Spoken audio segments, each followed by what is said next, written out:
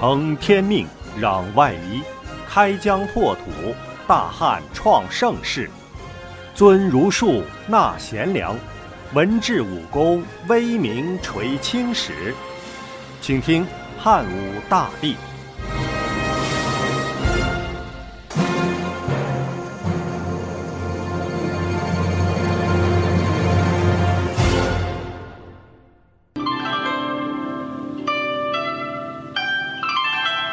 听众朋友好，欢迎收听《文治武功汉武大帝》，我是安吉。上集咱们说到，再次怀孕的卫子夫忽然病得奄奄一息，眼看母子不保，医术高明的太医也束手无策。更奇怪的是，武帝喜欢的几个嫔妃们也相继染上怪病，一个个不是头疼就是心口疼，叫太医来看也找不出病因，因此推断。可能是有人在捣鬼。武帝命人彻查，结果意外的发现，这件事情和皇后陈阿娇有关。陈阿娇是馆堂长公主刘嫖的女儿，也就是武帝刘彻的小表姐。她自小在宫中长大，生得花容月貌，聪明伶俐，是长公主的心肝宝贝。也深得窦太后的宠爱。刘彻和阿娇是青梅竹马一起长大的玩伴，感情很好。据说在刘彻六岁的时候，有一次长公主逗他，指着一旁的宫女问他：“这个宫女给你做妻子好不好？”小不点刘彻使劲儿摇头，却指着不远处的阿娇说：“我要娶阿娇做妻子。”大家都笑了起来。刘彻却很认真地说：“将来我要给阿娇造个金房子。”这就是成语“金屋藏娇”的来历。长公主本来就喜欢这个冰雪聪明的侄子，听了这话很是开心，就央求王皇后和窦太后把阿娇许配给了刘彻。刘彻一继位，阿娇也就顺理成章被封为皇后。这阿娇啊，是样样都好，可就是脾气不好。也许是自小被宠溺过度，要啥有啥，她就习惯了别人都让着她。即使刘彻登基做了皇帝，阿娇心里也还只当他是那个从小就被自己呼来喝去的小表弟，连说话都口无遮拦，缺乏对夫君最基本的尊重。可是刘彻已经不是那个。拖着鼻涕跟在姐姐后面的小男孩了，而是一个威震八方的大国之君。虽然武帝也没有和他计较，但是两人结婚多年都没有孩子，武帝就经常到卫子夫等自己宠爱的嫔妃那里。毕竟没有儿子，对一个皇帝来说是件很严重的问题。失宠的阿娇万分不甘，她心里深爱着刘彻。但这种爱却是霸道自私的。看到别的女人和自己分享武帝的爱情，嫉妒的毒焰在他心里越燃越高。卫子夫自进宫之日就一直受到阿娇的欺凌，连自己的弟弟卫青都差点丧命。而卫子夫牢记着母亲的话，要守本分，一直小心隐忍。虽然生女有功，被封为夫人，但她从来不和阿娇起冲突。她的温柔恭顺，反而让武帝更加珍爱她。眼看自己没有能力留住汉武帝的心，陈阿娇在身边一些不良宫女的撺掇下，就采用了一个非常见不得人的毒计，在民间。找了个能通灵识鬼的女巫，用巫蛊之术来诅咒那些受武帝宠爱的嫔妃们。这个巫蛊之术啊，是中国古代民间秘密流传的一个咒术。这个女巫实际上是有一种特异功能，能够和另外空间的灵体沟通。如果想要害什么人，就比照被害人的样子做个小木人儿，女巫用咒语驱使小木人在另外空间的灵体加害别人。被嫉妒冲昏了头的阿娇以为，只要把那些情敌们都撂倒，武帝就会回到自己身边。被派去的官吏很快就查明了事情的原委。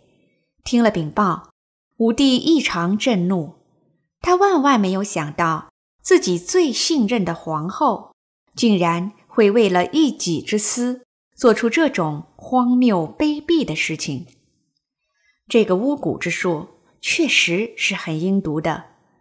咱们说明枪易躲，暗箭难防。你派刺客来攻，我还能多派些侍卫保护；你从另外空间偷袭过来，摸不着看不见，我怎么躲？所以会使这种巫术的人真的是非常可怕。盛怒之下，武帝下令把和此事有关联的三百多人一一严惩，杀的杀，关的关，罚的罚。而对青梅竹马的结发妻子阿娇，刘彻还是心软了。考虑再三后，决定废了阿娇的后位，把她打入冷宫。他派人赐给阿娇诏书说：“皇后失去本分，陷入巫蛊之术。”不能再承担天命，必须交出玉玺和绶带，废除皇后之位，退居长门宫。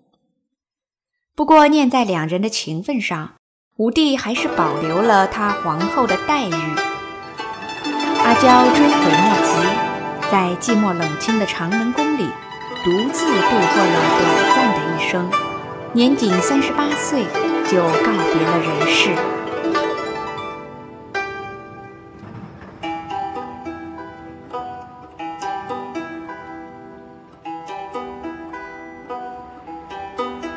处理完后宫的事情，汉武帝又把心思放在攻打匈奴上。虽然汉武帝一心想好好教训一下匈奴，但是当时以韩安国为首的很多大臣却一致反对，他们情愿延续文帝、景帝的做法。将军王辉当时提出马邑之谋的时候说：“秦穆公开始时只有三百里方圆的一块小地方，他借助时势的变化。”攻占了西戎，吞并了十几个小国，得地千里。始皇时，蒙恬当大将，占领了湖，开辟土地几千里，又以黄河为界，垒石为长城，种树为险塞，使得匈奴不敢南下。他们都是善于抓住时机，该用武力时果断出击。而大汉王朝如今国力强大，应该抓住时机和匈奴做一了断。武帝也是这样的想法。他从小就有一种特别强的使命感，一直觉得打败匈奴、开疆拓土就是自己人生的一个目标和责任。这些年韬光养晦、招兵买马，就是为了尽快实现这个目标。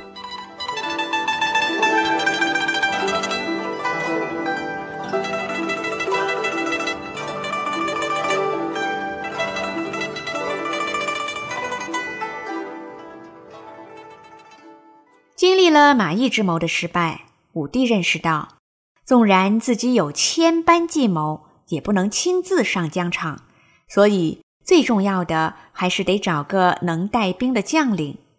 这些年来，他一直都在招募和培养这方面的人才，其中卫青是他最看好的将领之一。武帝认为，卫青最大的优点是忠诚、可靠、勇敢、无畏。对武帝的指令心领神会，不打一点马虎。除了武艺高强、能吃苦，卫青的为人也非常谦和，无论对同僚还是手下，都能做到为他人着想、以礼相待，所以他在军队里的威信也很高。唯一有些缺憾的是，卫青还没有真正上过战场，实战经验比较欠缺。要说实战能力，还是将军李广最有经验。武帝想，只要让卫青和他出征几次，相信卫青必能很快胜任。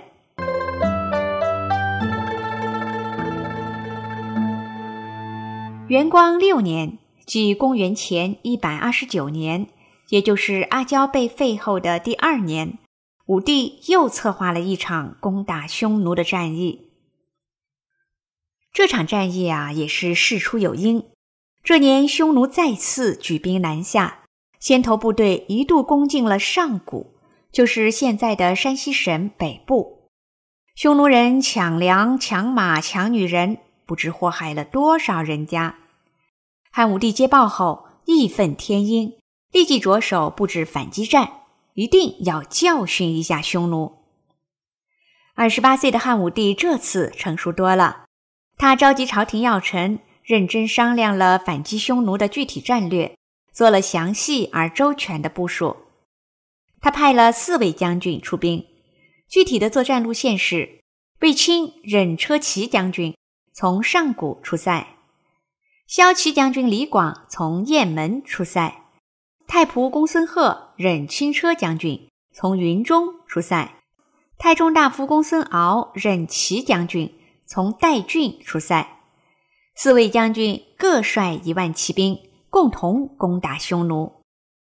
从上古出塞的卫青是顺着匈奴攻进撤回的路线走，算是主战场，和匈奴骑兵正面交锋；而其他三位将军则是从侧翼包抄，作为卫青人马的策应。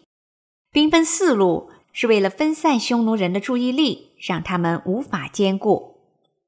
鉴于马邑之战的教训和对匈奴骑兵的忌惮，武帝命令他们只许在关市，也就是贸易市场附近寻找战机，避免深入敌境。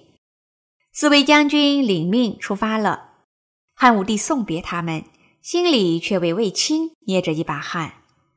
卫青被分配在主战场上，可是他并没有太多的实战经验，实际上等于做了诱饵。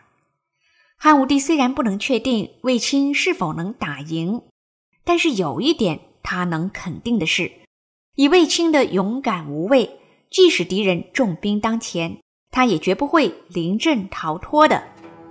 到时候就希望其他三路人马，特别是素有飞将军之称的李广，能够抓住战机，配合好卫青，共同歼灭敌人。不过，这次战役的结果。却大大出乎人的意料。那么，到底在战役中发生了什么事情呢？